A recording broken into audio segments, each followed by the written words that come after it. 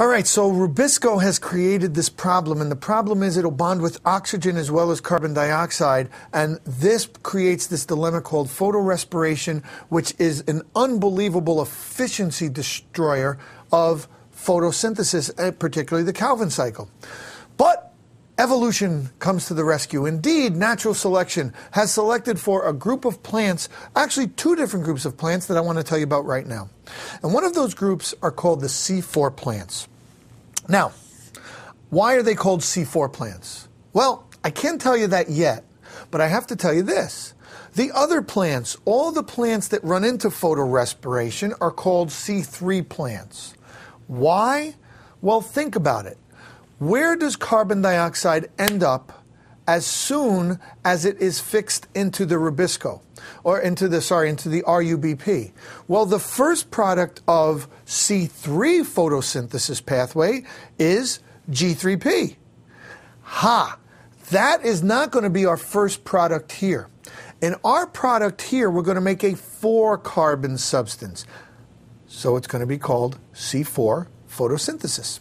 There's about 19 families of plants and several thousand species and that do C4 photosynthesis. One of the good examples of these are two examples of grasses that you know about, corn and sugarcane. Yeah, those are both in the grass family and these both are C4 plants, which might give you a clue as to why they're such efficient photosynthesizers. Well, let's take a look at this. We got to talk about structure following function. Remember, structure always follows function. Let's go through some structure again. This is a C3 plant leaf. Why is it a C3 plant leaf?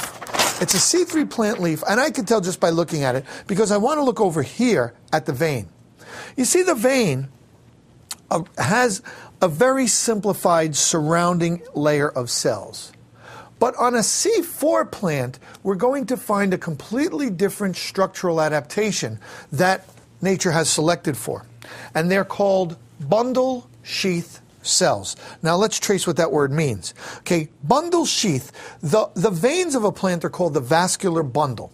Okay, so these are the cells that sheath the bundle. Thus they are called bundle sheath cells. Now you can see that the bundle sheath cells are very much interior in the leaf.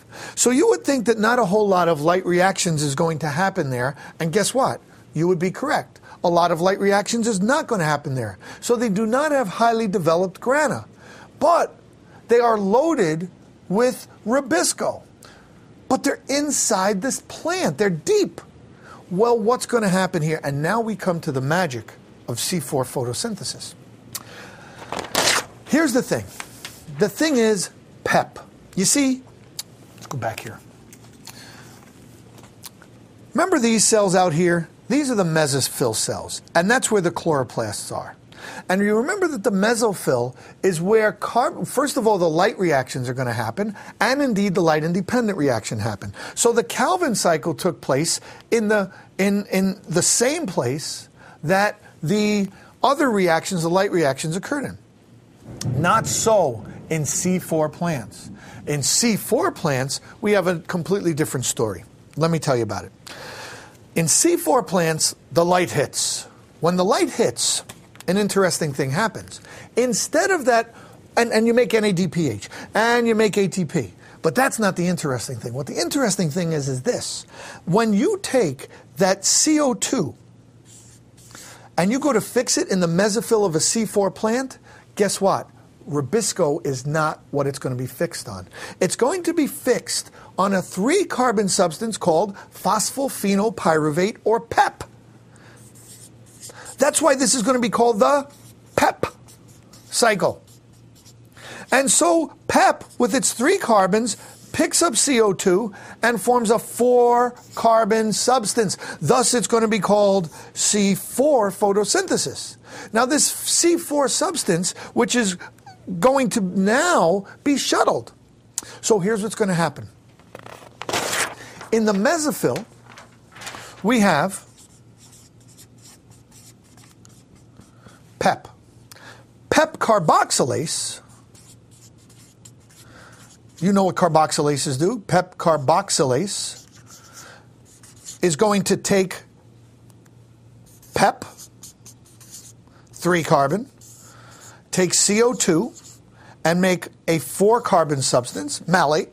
But here's the key. What's going to happen now is that, oh, wait, I got to tell you about something. Do you remember cell junctions? Do you remember that plant cell walls have a little channel in between them where the cell membranes join to each other? Do you remember that they're called desmosomes? Now, watch what a desmosome does. So here's the thing I'm going to draw two plant cells, and I'm going to draw a desmosome in between them. And I'm going to make this particular one a bundle sheath cell, bundle sheath cell, and this one is going to be in the middle. It's going to be one of those mesodermal cells there. Okay, so this particular um, mesophyll, mesophyll cell is going to make a C4 substance. PEP carboxylase is so fussy it will never bond with oxygen. So it's guaranteed, guaranteed to bond to that CO2. And now, guess what? that C4 substance can come into the bundle sheath cell. And in coming to the bundle sheath cell through the desmosome, what are we going to do? We now have a four carbon substance in here, and what do you think is going to happen here? That four carbon substance is going to split. It's going to split into CO2 and a three carbon substance, which is going to go back into the mesophyll. Check it out. You used a ferry boat you used a four carbon ferry boat to ferry carbon dioxide over here. And guess what enzyme is in here? Rubisco. But guess what isn't in there? Oxygen. Why? It's deep within the plant cell. So it's deep within the plant leaf. So since it's deep within the plant leaf, it's not going to be readily bonding to oxygen. You have literally brought CO2 from the outside through PEP carboxylase, brought it to the Rubisco. Rubisco can now fix it, and there will be less competition for oxygen. Let's take a look at that in a diagram form. Ta-da, how cool is this? We have our mesophyll cell. We have carbon dioxide coming in. We have PEP carboxylase making a four carbon substance, oxaloacetate. Oxaloacetate eventually is converted into malate. Malate is the stuff that diffuses via the desmosome into the bundle sheath cell, where the bundle sheath cell will now take the CO2 released from that malate and use it in the Calvin cycle to generate sugar, which of course goes into the vein of the plant.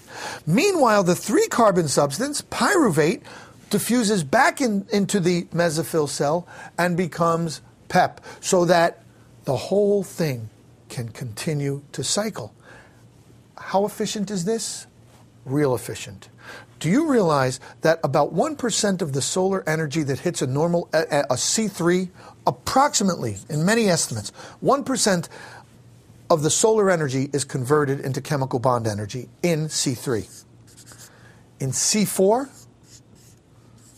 estimates are 8%.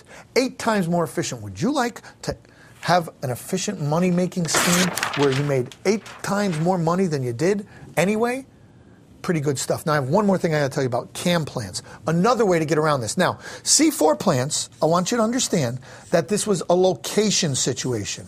In other words, the way C4 plants defeated C3 or photorespiration is they changed the location of the Calvin cycle.